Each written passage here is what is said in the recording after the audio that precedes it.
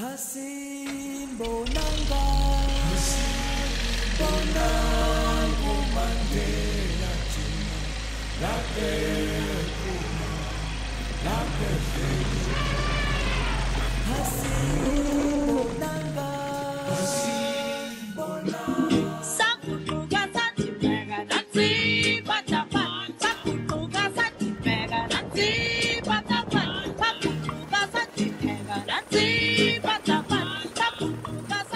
Oh là là, mais est-ce bien vrai?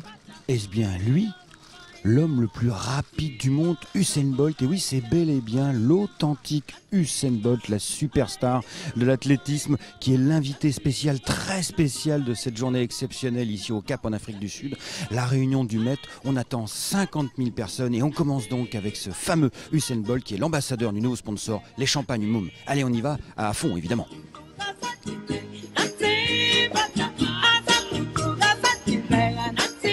Festival de couleurs, d'hommes et de femmes, parfois les deux en même temps, arborant des toilettes chatoyantes.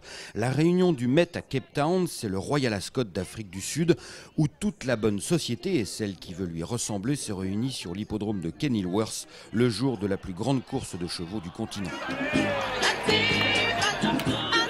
La plupart des 30 à 50 000 personnes, selon les années, se protègent du soleil et du vent sous des tentes de sponsors où le champagne coule à flot. Depuis sa première édition en 1883, les vedettes se pressent à l'événement mondain. Hussein, est-ce que vous avez une expérience personnelle avec les chevaux et les courses? Êtes-vous allé aux courses par exemple quand vous étiez jeune en Jamaïque? Et aussi, pensez-vous que vous pourriez battre un cheval sur une très courte distance? Uh, for me, um, I don't really have a lot of experiences. uh, Experience with, with horses. Um, my coach is Moi-même, je ne suis pas un fin connaisseur des courses, mais mon coach, lui, est passionné et il est très pointu. Il est tellement fan qu'il m'a parlé très souvent des chevaux.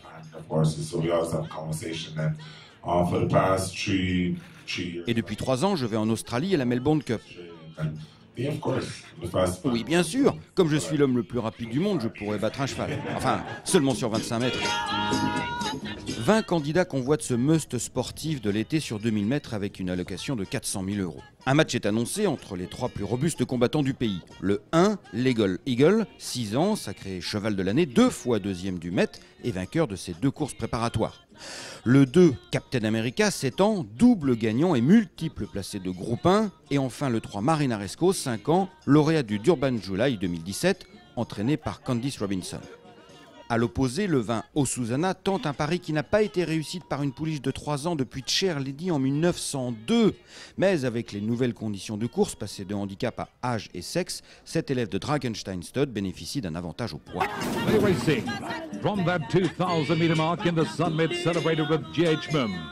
Comme prévu, le 1 Legal Eagle en casaque jaune à point noir et le 2 Captain America casaque violette se placent dans le sillage immédiat du leader Krombouli Casaque bleu et blanche manche rose, Marinaresco attend à mi-peloton, tandis que la pouliche Osuzana en bleu ciel toque blanche se place tout près, en 5 ou 6e position. As they spreading up in the Sunmid celebrated with GH Mum.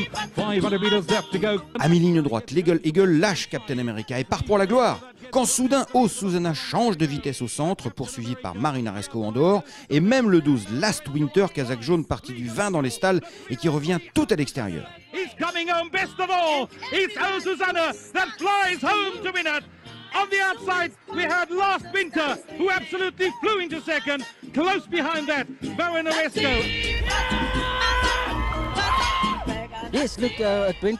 Ah, j'ai eu un parcours en or tout près des leaders. C'est vrai qu'elle a mis du temps à trouver son action dans la ligne droite, mais quand elle a changé de vitesse, nous avons gagné assez confortablement. Work hard for, obviously, and to win a race like this is. uh, C'est extraordinaire pour moi de remporter une telle course. C'est ce dont tous les jockeys rêvent ici. riding on this day, so yeah, it's amazing feeling. The thing is to take a young filly like Pour moi, le plus fort dans ce mètre, c'est qu'Osuzana a accompli un exploit pas réussi depuis plus de 100 ans pour une pouliche de 3 ans face aux chevaux d'âge. Elle a énormément de talent. Elle nous l'avait déjà montré la dernière fois sur 2000 mètres où elle avait battu toutes les meilleures femelles d'Afrique du Sud. Et maintenant, elle devance tous les meilleurs mâles. Je suis très fier de remporter ce mètre pour Drakenstein Stud et Gainer Rupert, une propriétaire formidable. Et vous savez, avec mes parents, on essaie de gagner ce mètre depuis 40 ans sans réussir. Et ça y est, c'est 40 fait. Fille de Street Cry, tout comme les cracks Zenyatta et Winx, O Susanna est née en Australie, où Geno Rupert, la créatrice de Dragonstein Stud, avait acquis sa mère Sharp Suzanne, une gagnante de groupe 2 aux États-Unis, pour 650 000 euros. I have such incredibly good people working. Je dois surtout remercier les personnes formidables qui travaillent avec moi. Tous les gens qui me conseillent, tout le personnel du hara, l'entraîneur, le jockey, toute l'équipe, car c'est vraiment une victoire d'équipe. I always liked horses. J'ai toujours aimé les chevaux que j'ai découvert avec mon grand-père. J'en ai eu quelques-uns, puis mon mari m'a convaincu de me lancer dans l'élevage et j'ai acheté ma première poulinière en 1986. J'ai juste eu de la chance et je me suis bien entourée. La combinaison des deux, la chance et les bonnes personnes, nous amène à ce succès d'aujourd'hui.